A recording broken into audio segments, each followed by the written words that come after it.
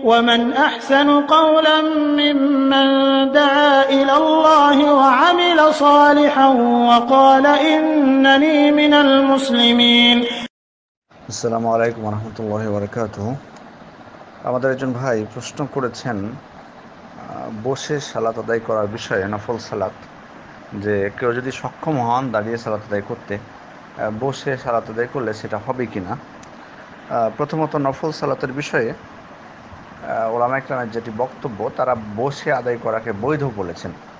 বসে আদায় করাকে বৈধ বলেছেন।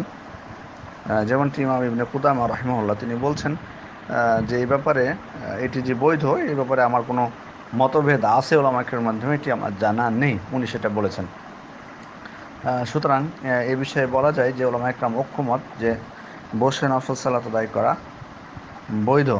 তবে একটি কথা মনে রাখতে হবে একটি কথা মনে রাখতে হবে যে সক্ষমতা সত্ত্বেও সক্ষমতা সত্ত্বেও কেউ যদি বসে সালাত আদায় করে, তাহলে তার নেকি অর্ধেক হবে, যেমনটি সহি বুখারি এবং মুসলিমের হাদিস দ্বারা এটি প্রমাণিত।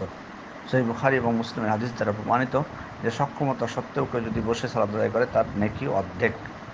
আর ফরজের ক্ষেত্রে বলব ফরজ নামাজের ক্ষেত্রে, এটি তো আপনাদের জানা আছে যে, কেউ যদি অক্ষম হয়, তাহলে সে বসে পড়বে। আর যদি সক্ষম হয়, তাহলে তার সালাতে হবে না।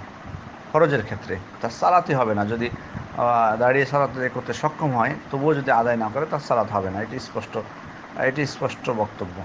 অতএব ফরজের ক্ষেত্রে চলবে না আর ক্ষেত্রে চলবে তবে তার নেকি হবে অর্ধেক।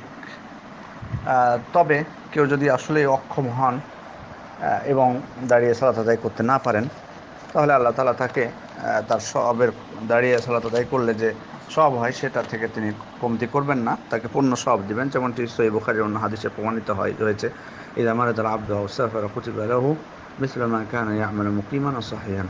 বান্দর যখন অসুস্থ হয় অথবা সফরে থাকে, তখন মুকিম অবস্থায় বা সুস্থ অবস্থায় যে আমলের করে, তার নেকি পেয়ে যাবে, তার নেকি পেয়ে যাবে।